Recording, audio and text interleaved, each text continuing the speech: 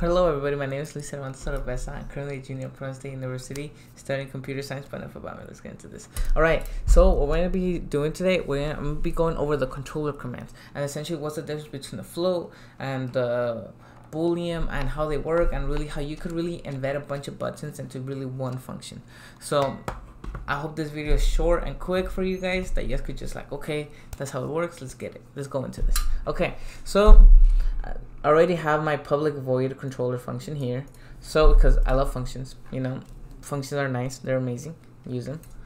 So, now I'm going to say, um, gamepad 1 and so you have you guys have the option of gamepad 1 gamepad 2 gamepad 1 is the first controller gamepad 2 is the second controller. You guys should be able to see this on your driver controller when you guys select a controller. So that's how it works. You guys are able to use two controllers maximum the competition. So use it. It's really useful. It's kind of hard to just literally embed every single command into one controller. It's just useful. You just have two drivers one controller the arm one controller the driving. It's i would really recommend that. So we're gonna go with gamepad one. Okay, so first we're gonna go over just the basic buttons, the ones that are boolean, and then we're gonna I'm gonna be discussing, and then gonna be, use a little example of how to use them, and then I'm gonna be going to the float, into the float ones. Okay, so first I'm gonna be using just the normal buttons. So we're gonna go to X. So as you guys can see, if I do X, it's a boolean. If I do Y, if I do B, and if I do I think I already painted away okay so as you guys know this is literally it's that simple it's whatever you see on the controller that's what it is and then we're gonna go to the d-pad which is this these buttons right here obviously depending on the controller you have them it might look a little bit different but at the end of the day they're all the same so we're gonna go to d-pad down left right and up as you guys can see, they're all boolean. So if you press it, it's gonna be true. If you release it, it's gonna be false. Essentially, like the touch button, however you guys want to use the touch sensor. That's essentially what it is. At the end of the day, this controller is actually just a really complicated sensor, which is really cool that we're able to use. All right, so then now we go to a little bit more complicated realm. Oh, as well the the left the left bumpers, which is these top ones are as well booleans. Okay, now we're gonna go to the left, to left stick. So the left stick is a float, as you guys can see right here. So meaning that it's it has a number assigned to it. Either like when you go all the way to the left, it's a negative one. If you go all the way to the right, it's positive one. If you go all the way up, it's positive one. If you go all the way down, it's negative one. So this is why math is really important. When you go to the left of the x-axis, it's negative. When you go to the right, it's positive in the x-axis. When you go up, it's positive in the x-axis, in the y-axis. My bad. Then when you go down, it's negative in the y-axis. So it's simple algebra, not that complicated. It should, you know, it's easy. Okay, and obviously in the middle, it's at zero. So right now, this will be at zero. So then I'm gonna go to left Ooh, let's choose. So I'm gonna use the x-axis. So I want it, for example, whenever I go to the to left, I want it to be like, hey, just even if I move it just a little, I want this. I want it to be true because I want instant response. I don't want it to be a certain value because either ways, that I want it to be between a range because I want it to work. If you just do it specific, if it's not exactly at that value, it's not gonna work.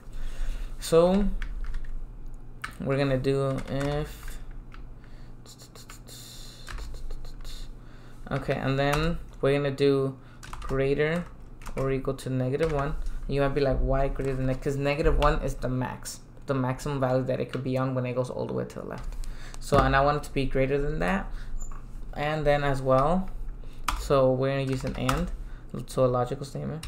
And then we're gonna do gamepad one dot left stick is greater than zero.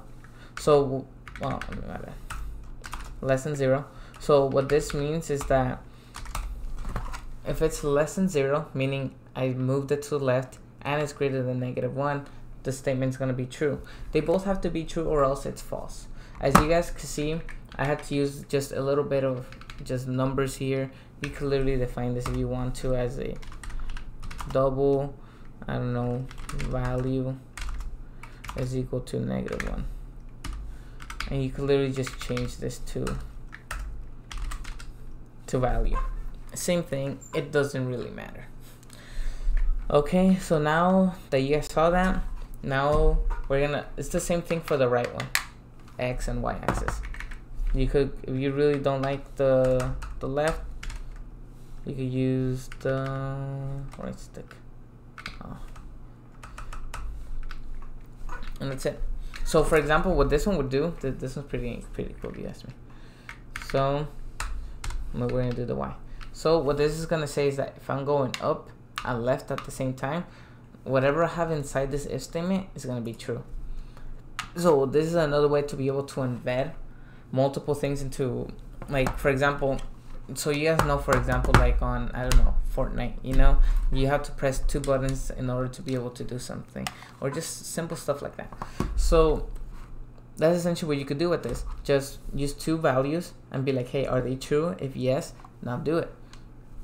Pretty cool right? You might i know I, you might look sometimes like, like you know what? These, these engineers must have written lines and lines and lines of code just to just to make it so when you press this but obviously there's more complicated ways. They obviously do it way, way more cooler way than this but this is just a simple bare bones just hey let's get it working. It doesn't matter. Let's get it you know? Obviously we guys are trying to like do math and it be like okay we gotta do really careful. Okay you know only at this certain value and you want to like you know program the hardware but at that point why? Okay so that's pretty much what it is. And then as well as so another one that I, feel like not many people know. So so the left stick button so what this is is essentially when it's pressed. As you guys know these buttons you could press them. Obviously it's not a float anymore so it's just a boolean oh as well if just for a little sanity check sometimes you, you could just do true meaning that if this statement is true it's gonna it's gonna run. Meaning that if if the left stick button is pressed it's gonna be true else it's gonna be false. And then that's pretty much it. So you could also do like if gamepad one dot left stick button is equal to false I don't know do something else. So so this essentially means when it's not pressed I want it to do something else. Pretty cool so yeah that's, that's, that's pretty much it. Very cool. Very straightforward. Like this video is just meant for me to just kind of show you guys how to call it how the functions are called what's the difference between a boolean and a float how it's used. Like this should just give you guys general idea. It's not supposed to be a whole detail just kind of like okay like i'm kind of a little bit confused so i want just a little quick explanation. I hope that this really helped you guys and uh it really helped you guys because that's what these are for. So, good luck in competitions. If you made the state, congrats. Everything, everybody, even if you didn't go to work, everything. So, thank you guys for watching my videos, and I hope that this really helped you guys.